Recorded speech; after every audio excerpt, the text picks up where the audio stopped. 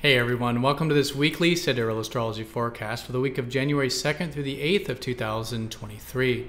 All right, so this week we have a full moon on Friday. So as we do approach Friday, it is good to let the energies sort of build and get some uh, some wind in our sails. It's the gibbous phase of the cycle, and so good to notice some of that momentum, getting to the heightened phase of the lunar month, and then probably around Friday making some shifts and changes. Full moons are a great time of new perspectives and making readjustments for the next two weeks of the lunar cycle. So this week we do have Venus going into grounded Capricorn on Tuesday. So our values and how we connect in our relationships is going more into the responsible realms. So good for patience, discipline, responsibility when it comes to what we enjoy and when it comes to those relationships. On Thursday, leading up to that Friday full moon, is the Sun trining Uranus. And so there could be a bit of individual self expression that can come across quite easily, maybe some new experiences, uh, really letting out some of that excitement or some of that new and different energy that it's just easier to do so and very supportive to do so around that Thursday time. Saturday marks the halfway point of the Mercury retrograde with the Sun conjunct Mercury. And so, in this case, doing a bit of a reflection again around that full moon is good, anyways, uh, in terms of how things have been going this past week and a half with Mercury retrograde. So, uh, when it comes to redoing things, relearning things, what have we been learning? What is our new perspective on matters? And maybe getting a new shift of perspective with what can be reworked and redone for the remainder of the Mercury retrograde for about the next week and a half is great. And then the weekends on Sunday with Mercury trining Uranus. So, although he's retrograde, again, good harmony with Uranus can mean new experiences, thinking outside the box, and letting that mind uh, kind of wander with our excitement a little bit can be great. All right, so it's going to take a look at all this here in more detail when we return.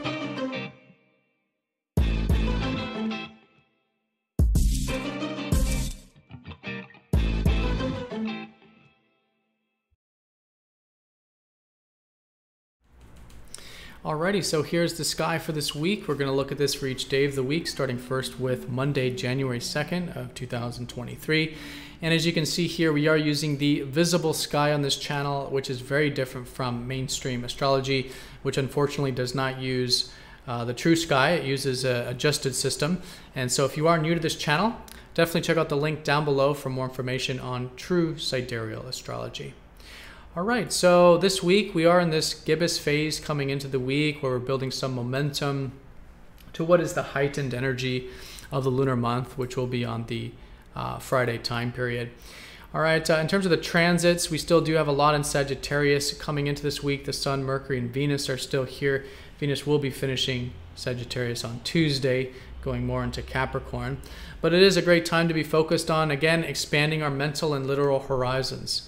Sagittarius is about viewing life through the lens of what inspires us, what is spirited for us, what has that feeling of spirit and adventure and open mindedness, and cultivating those things in our life. Thinking this way as well with Mercury retrograde and connecting in this way with Venus.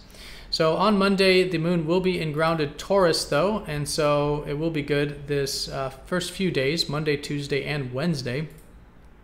Again, as we do approach that full moon uh, for a little bit of this uh, one step at a time energy. Taurus the bull. This is where Mars has been retrograde, so it is good to still connect with this side of ourselves, the side that is slow and steady, the side that is resourceful and self reliant, the side that is connected to the inner strength, self worth, self value. Right? This has all been going through a reconnection with Mars retrograde, but uh, with the moon here this early part of the week can make it very good for this stuff. So, yeah, anything that's about taking things one step at a time, stopping to smell the roses, maybe connecting to nature and beauty and aesthetics and comforts and abundances of life and gratitude as well, uh, can be a great way of working with this. What is a moon that's exalted? The moon does like to be here in this grounded Taurus type of energy. Okay, and uh, adding to the grounded energy on Tuesday, Venus will go closer to Capricorn and so that's starting the next few uh, the next coming weeks on uh, connecting more to life and our relationships in a way that's a little more responsible right capricorn the sea goat is all about taking one, one step at a time like taurus but really climbing the mountain one step at a time right and so things that are about our long-term values in the case of Venus. Long term energy in relationships. What takes patience, commitment, perseverance, right? But enjoying it. Venus does tend to help us see the value of it, enjoy it. And again, it's just a really good way of connecting to more of that kind of energy as eventually the sun will enter into there later this month and then after Mercury goes uh, direct here. Okay, so that's the Tuesday time as a shift more into that Capricorn energy, but we still do have a lot of that grounding energy with the moon in Taurus. Okay, once we do get to this uh, Wednesday time, just a little bit of an opening for a bit of open-mindedness or adventurousness uh, with those values and relationships. Maybe enjoying the simple life, uh, you know, something that we could be a little bit optimistic about or open-minded about. We can enjoy.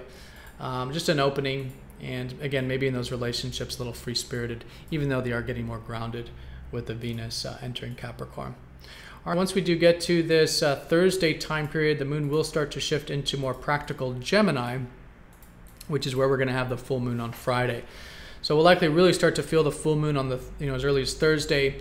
And in this case, how can we really ground some of that free-spirited energy of Sagittarius, this more abstract energy, this more right brain energy of Sagittarius, and ground it with the left brain, right? With the practical, with the tangible, with the in the world tangible, practical things. And so, Gemini full moon, a great time to do a status check. How is this practical energy of our lives going?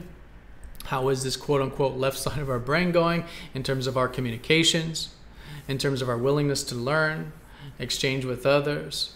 Right, with the Mercury retrograde, who is the dispositor of the full moon, still reflecting on the stuff or redoing or reevaluating or you know experimenting with matters of communication and whatnot, but still really good to get into this more practical energy. How can these more abstract realms of Sagittarius in this time of the year be grounded practically into our life and perhaps implement, start to implement some of these things that are more practical but also involving Gemini things like communication, connecting with our peers as well, those we consider equal status, sharing, exchanging, business, trade, right? Practical stuff I think is great uh, status check and likely some shifts and changes happening um, with that around Friday. All right, and the moon will still be here early Saturday, but going into late sun, uh, late Saturday and all day Sunday, uh, the moon will be in protective Cancer. So the very late part of the weekend, it is good to create that safe and secure environment for ourselves and others, and connect to a little bit more of that protective nature there. But uh, yeah, that uh, sort of weekend there, you know, Saturday uh, is the halfway point of the Mercury retrograde. Mercury will be uh, here conjunct the Sun. And so uh, it does emphasize a lot of the Mercury energy being quite strong. Again, the Gemini Mercury is very similar, right? Very much the same thing the practical, the communication. Uh, but it can be a bit buzzing, okay? So, especially around, you know, once we get to about Saturday after the full moon, the energies combust. And so this is that fire energy of the sun that can drown out the mental capacity and mental energy uh, and communication energy of Mercury. In other words, a symbol of this is if you look at the sky, you won't see Mercury, you'll only see the sun, right? And so this is the more expressive side and passionate side and just spiritual side of ourselves that drowns out the more practical and communication communication side of things. So it is good to always bring extra attention, extra awareness to those matters. Again, communication wise, practical wise. But again, it's already a good time to do that with the full moon. But with this, maybe um, around Saturday, something's shifting here. Um, so even though it can drown it out, we can get insights uh, sometimes coming from the unconscious, or as we might say, Mercury in the underworld can come, you know, as he then emerges from the sun, bring the gifts of knowledge and insight.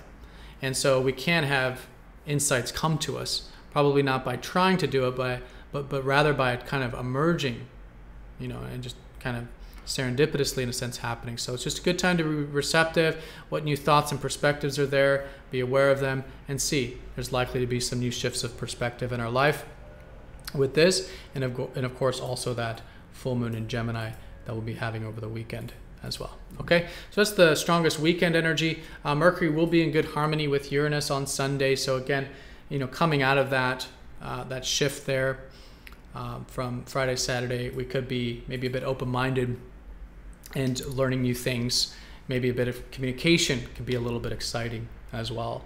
Um, it's a little bit of that individual self expression of Uranus uh, in good harmony with Mercury, the planet of our, again, mind and communications. All right, everyone, so that is the week in a nutshell. Most important thing is that we are approaching that full moon. That's going to be on Friday. That's the middle part of the lunar cycle, which is always good to do a status check. And as a result, make some shifts and changes for the coming weeks. It's all in the context of Gemini, the Mercury type of energy, which rules the left brain, language, communication, writing, exchanging. And so anything on that sphere that we can do a status check is great. Again insights coming in also in, on saturday more than likely and just being conscious and constructive with this energy to see what new could be emerging what is shifting here that we can further implement on that level. And support to do that particularly on sunday to again experiment and get outside that uh, comfort zone a bit with the trine to uranus all right, uh, those are the most important aspects. But you know, we have do have two trines with Uranus approaching that full moon as we are building momentum for the lunar cycle. The Sun will be trining Uranus, and so pretty much a whole week is good for some of those new experiences and getting outside some of those comfort zones. All right, so everyone, have a fantastic week. Thank you so much for watching. Be sure to click the like button if you're watching this on YouTube. And if you're not yet signed up for MTZ Insiders, it is a free newsletter where you do get these videos released first before YouTube and extra content not normally released on YouTube. So do sign up if you haven't yet. It's down below, it's absolutely free.